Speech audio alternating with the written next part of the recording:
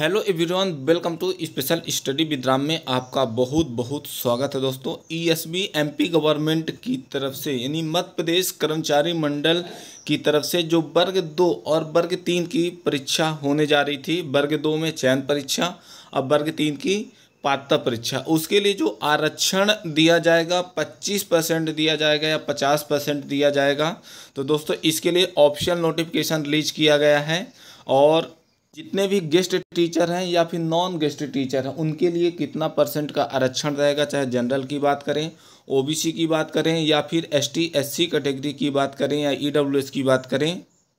तो इनमें कितना कितना आरक्षण रहने वाला है? सबसे पहले दोस्तों, यहाँ पर आप क्वालिफिकेशन देख लें, जो मी माध्यमिक शिक्षक, जो विषय शिक्षक वाले हैं, और वर्ग तीन के पात्रता परीक्षा में है, उनके लिए क्या क्या योग्यता होनी चाहिए? जनजाति कार्य के लिए हो या फिर शिक्षा विभाग की तरफ़ से हो तो माध्यमिक शिक्षक जितने भी हैं विषय शिक्षक में, मध्य प्रदेश राज्य स्कूल से शिक्षा सेवा शैक्षिक संपर्क के लिए जो 2018 के नियम थे, उसी प्रकार के नियम रहेंगे। पद का जो विवरण रहेगा दोस्तों, माध्यमिक शिक्षक,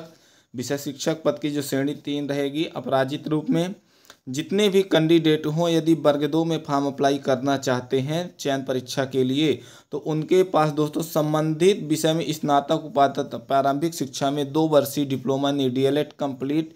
किए हों, या फिर दोस्तों संबंधित विषय में कम से कम पचास परसेंट अंकों के साथ स्नातक की उपाधि एवं शिक्षा शास्त्र में एक वर्षीय स्नातक बीएड करके रखे हों। एंड दोस्तों, बीएड वाले भी मान्य रहेंगे और डीएड वाले भी मान्य रहेंगे। तो जितने भी कैंडिडेट हों तो दोस्तों, एक बड़ी खुशखबरी है उनके लिए कि जो माध्यमिक शिक्षक हैं, उनके लिए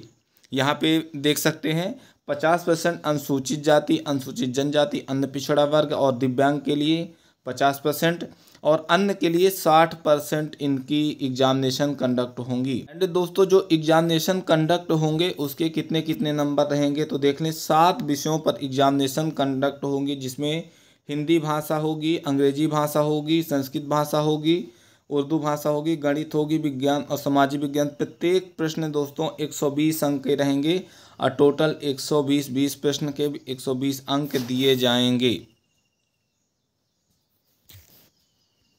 की परिशिष्ट भी जारी कर दी गई है। यहाँ पे देख लें, परशिष्ट एक माध्यमिक विषय की जो सूची जारी की गई है, गणित की जारी की कर दी गई है, देख लें। गणित, विज्ञान सामाजिक विज्ञान, हिंदी, अंग्रेज़ी, संस्कृत की इसमें परशिष्ट एंड उर्दू, इन सात विषयों की परशिष्ट जारी की गई है और उनके लिए क्या क्या होना अनिवार्य है, तीनों वर्ष का मुख्य विषय के रूप में होना चाहिए, तभी इसमें फॉर्म को अप्लाई कर सकेंगे।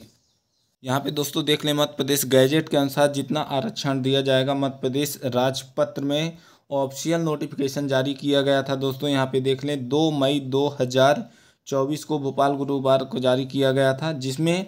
बात कही गई थी दोस्तों कि विभाग में सीधी भर्ती या नियमित पद के समकक्ष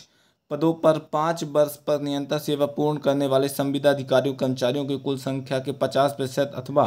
सामान्य प्रशासन विभाग के परिपथ क्रमांक में बाईस जुलाई 2023 का विभाग में सीधी भर्ती के रिक्त पदों के 50 परसेंट तक के दोनों पद से जो कम है, संविदा अधिकारियों और कर्मचारियों की नियुक्ति के लिए आरक्षित किए जाएँगे। जी हाँ दोस्तों तो जो आपकी भर्ती होने वाली हो 50 परसेंट अंकों के साथ ही होंगी। तो दोस्तों, जितने भी कैंडिडेट हों, अपनी तैयारी करते रहें, चाहे वर्ग दो की बात करें, चाहे वर्ग तीन की बात करें, क्योंकि यहाँ पे साफ़ साफ़ लिखा है कि इसमें जो है, पद, रिक्त जितने भी पद हैं, सीधी भर्ती वाले, उसमें संविदा अधिकारियों कर्मचारियों की नियुक्ति के लिए आरक्षित किए जाएँगे पचास परसेंट तो जितने भी, चाहे गेस्ट हों नॉन गेस्ट हों, सभी के लिए बड़ी खुशखबरी है।